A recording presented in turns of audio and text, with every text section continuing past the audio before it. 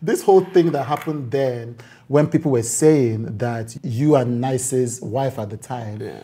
had a relationship and she cheated, cheated on 9ice. Two questions. One, what exactly was going on there? How did your name enter this matter? Um, there's a friend of mine, Kunle Fawale. Okay. A bounce. He raps too. I saw an online story about him. Okay. You know, I'm like, oh, and that was the, just the beginning of internet. I'm talking 2000, 2001 Mm-hmm. to. I'm not like, ah, bro, how'd you get your story on the internet? I was like, oh, he knows someone in America Right. that owns NigerianEntertainment.com. To me, that was the first Yeah. entertainment blog Yeah, ever. NigerianEntertainment.com, And yeah. he said it's his friend Sheung. Right. I'm like, okay, hook me up, you know, kind of thing. And then he now hooked me up. He said he had spoken to her. I'm like, oh, is it a girl? He said, yes. Okay. Now that turned out to be Toni Payne. Right. So that's how you So got in touch with Toni Payne? That's how I got in touch with Toni Payne. She sent me questions. I sent her pictures. I answered the questions, sent her. Then I sent her my songs, and then she helped me put. She even helped. She was. I think she was the first person to put my songs on iTunes All right. and YouTube Yeah, back then. Yeah. I think it was two years later so that I even met met her physically when she came to Nigeria. And then, uh, and by that time, I'd met 9ice. Mm-hmm. We had dropped Gongo Aso. He hadn't blown them, but we had dropped Gongo Aso, and of course, and I told her about 9ice. I wanted her to do. That I have an artist that I would like for her to do the same thing she did for me for him. So you don't want to introduce Toni to 9ice? Yes, that's right? how my name came into it. Ah. So she sent questions and don't tell anybody. I answered most of it. Scoop a alert. I answered most of it, but the ones that were really personal, I gave him. So I did. I was kind. I see. I did like a big brother, Yes. big brother manager thing without a contract for him. So I we did that interview. So everywhere I went to for almost two years, if I didn't take 9ice physically, I mm. took his CDs with me. Two years later, Toni Payne came to Nigeria and Benga Dinka show in Motherland, like Bajas. So that was where I now introduced them. I think it was 2010. After the engagement, something happened. I'm not going to say this yet. But I just realized something was going on that I wasn't okay with. Right. And it was happening around my area. Something was going on with 9ice. Yes, that I didn't like. So it just led to a whole lot of stuff. You know I'm an interviewer. I know. So I have to ask, are you saying that 9ice was cheating on Toni Payne and you, you, didn't want, you don't want to talk about it? No comment. Okay. no comment. But So- I did my job. Yeah. I asked the question. Yeah, no comment. Okay. You know, so it caused some kind of rift between him and I Right. and some other people. One Saturday morning, I woke up to a call from Toni Payne. She was like, ah, where are you now? Where are you now? I'm like, where am I? What? I'm at home. She's like, why, why are you at home? Why are you not here? I'm like, here, where? She goes, don't tell me he didn't tell you. I said, tell me what? Who? She said they were getting married that day. I said, but you didn't tell me. She said, yeah, she wanted to, but now I said he would tell me. But he never did.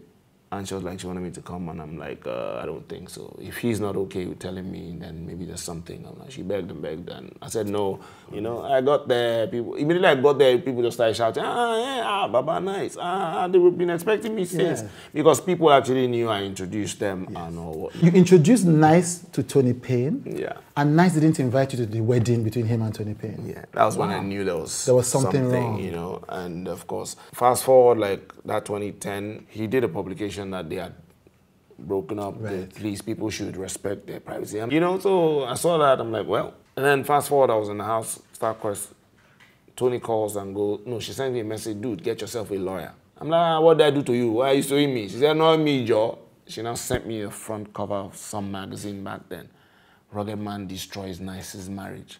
I'm like, okay. The next morning, I sent someone to go buy the magazine for me, and they brought the magazine. And if you see the speed where I, I used to flip to the page and now read, it was it's alleged that they said that words on the street says After such a bold headline. you understand? And I was waiting for where they said the I did something, and there was nothing like that. It was when the song came out, Once Bitten, Twice Shy. Mm-hmm. In that song, okay, well, I'll say it, you can bleep it. Said I saw my girl giving my friend nodding.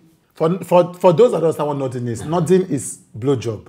Nodding is oral sex. He said it. Nodding is not, that's what it is. What he said. Yes. okay. You know, so he sang, I saw my girl giving my friend, not my girl giving my friend nodding. Yeah. She was showing him her tattoos. You know, you didn't have to treat me that way. He just went like that. And I'm like, I now sent somebody to go and buy it because he wrote that it was in that song that he said it. So you went to buy the, And I went to the buy the album album. again. and I played this song and I was now waiting to hear Ruggedman, this, and then Yeah. I didn't hear anything. And I was like, ah, so How did this link? how did this happen? link? You know, and now let me tell you this. Because when I listened to the song, I knew exactly what he was talking about.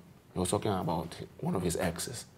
And this was like two years before I introduced him to Toni Payne.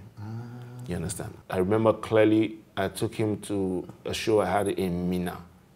I noticed he had a long face. You know, he wasn't really himself at some point. He finally opened up that he walked in on his then girlfriend, Right. giving somebody, a friend of his, a blowjob. Right. And I'm like, whoa, okay. Yeah. I feel that was the last I heard about that, That until I heard that song. So I knew who he was talking about. Right. Most of us knew who he was talking about. You know, so when I heard the song, I'm not like, oh, ah, you understand? So what's my business? So I was okay, like I, I knew it wasn't. Then I confirmed it wasn't. Oh, that's what he was talking about. Ah, I know now. But to me now, and I now thought to myself, for this thing to have been on for this long and he hadn't said a word, mm. what's mm. going on? Mm. So I called his number again. He picked. I caught it. A friend of mine. This was the time of BlackBerry. A friend of mine was there. I took her phone, removed her SIM, put my SIM in it, Right. and I used that BlackBerry to call. I'll tell you why after. Okay. When I made the call and how he picked up, I'm like, hey, what's up, man? Superstar, yeah, you know what's going on? Yeah, I know you've been traveling since me too. I just go back. Yeah, I said, hey, I'm, why I'm even calling is because this is your song you released. You know, people are misunderstanding it. They're saying, they're thinking you're talking about your wife and me. You know, so uh, he said, ah, of course not now. I said, yeah, of course. I know it's not about, I know that already, you know, but this is what they're thinking and this is what they're saying.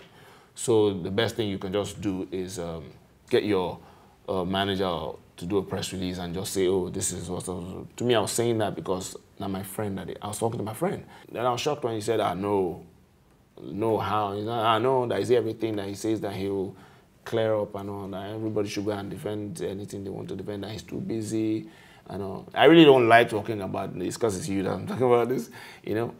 You know, so it's like everybody should go and do whatever they want to clear their name. That he doesn't have the time. He's too busy. I'm like, ah, too busy how? I said, guy, this is not other people. This is not online. This is me. This is your wife, kind of thing. You know. It's not like no, no, that is just the press people talking rubbish. This one, uh, this press. I said it's not press, so it's my fans and yours. You know, and it's been on for a while. It's not like no, everyone should go and defend themselves anyhow. That he doesn't have time. Da, da, da. I cut the call. I was pissed. Yeah, of course. I cut the call. Why I now back to why I changed. That phone could record. So that's why I said I think I think about things a lot, you know, because for for me, like I said earlier, for the fact that it had gone on for that long, I hadn't said anything. anything. Something's up, Yeah. you know. So I recorded the conversation, and then my manager now reached out to his manager and said, "Hey, this is what's going on, and um, you get, we give you guys a week to clear this up because I did. To me, I my first step was doing what I felt was right, talking to my friend mm, mm, mm, before now getting a manager involved. So I got my manager, called the manager. That one was now like, uh, what, what do we want to do? That we shouldn't do anything that will tarnish the image of his artist. And my manager was like, so what's So going what on? What do you think is happening right now to my own artist? Yes. That kind of thing. Yeah. He just said, we'll, we'll give you guys one week Yeah. you know. Yeah, just jelly. And then I was, I was already an internet person. I did a press release. Hmm. I attached the conversation and now put all the email addresses from Linda to everybody, every music blog, every news blog, every TV radio station that I had the emails. I put everything and I put it in my draft. And I mm. waited. Immediately a week passed, I just pressed send. And that conversation went everywhere. A friend of mine called me from, in, from America that they were having, they were at a concert. The argument came up. Yeah. They stopped the music. Somebody plugged his phone to the system and they were playing the conversation to. At the event. At the I love my event. Nigerian people. No gist we can avoid. Ah, they played it. That thing had more. It had more streams and downloads than some people's album.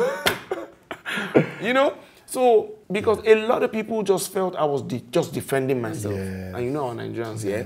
Once it has to do with infidelity, Yeah. people are holier than thou. Even the ones who come out from just cheating now will still say, yeah, you did that kind of thing. I knew them. And one of the things that now made me feel somehow was if Jimmy Jatt that's known me for how many years can believe it. Now imagine all the brand managers, all the people, you understand, how would they Have seen this. and not everybody will tell you what they thought. Yeah, of course now, of course. They will just cancel. Chen, chen, chen, chen. We were the first people they cancelled. Chen, chen, they just cancel. I'm sure I know I lost a lot. Do you know how it feels when you walk into a place and you feel everybody's just looking, Looking at at you. I'm sure I walked into some place, one guy don't hold his wife. Yeah. yeah, come close. And now maybe the wife went to pee. Ah, yeah, baby, where are you? Come here. Oh my goodness. Wow. I know, but it wasn't fun. Yeah, this, was, this must have been a really difficult time for you. It was. It was. You understand? So that happened. You know, I went on radio. Now he suddenly was. Uh, to me, I'm not like, oh, now he Now suddenly it's have not time. as busy. uh you know, that kind of thing. So suddenly, the conversation now switched to that's even true. Why hasn't he even said anything since? So he now became uncomfortable. Yeah, of course. He now he started feeling how I was feeling. Feeling. Then he now came out and started talking. Yeah. Then people now started asking questions Yes. and all. So all of a sudden the tables now kind of turned, and you know. Yeah. And then the saddest part for me was the fact that it now dawned on me that when that album came out, the Mm. tradition album, it wasn't moving until Mm. This. that rumor started. That's what happened. From have you heard the song 9ice said he caught his wife? It moved from have you heard the song 9ice said Ruggedman and his wife? But when you hear the song, you'll not hear that. So a lot of people started going to buy the album Yes. just to hear Yeah. where he was supposed to have said Rugged Man. Yeah, yeah. So now he was, he just, he really hurt me when I felt like you were throwing me and your wife under the bus because, just so you could sell CDs. Yeah. You understand? That was, to me, that was, was the the thing. betrayal part. Uh, He even went as far as doing a song to diss me. Instead of doing a song to diss him, Mm-hmm. and I did a song and talked to him. We need you to subscribe, yo. And the reason is simple. The kinds of conversations, the kinds of words that we construct with our conversations on with Chude are driven by a vision of the kind of world I want to see. You know, you are the most important person in this entire ecosystem. You subscribing monthly. So do go ahead, subscribe. Ask somebody else to subscribe. Advise somebody else to subscribe. Refer to someone to subscribe. It matters, truly. Thank you as we continue to be human together.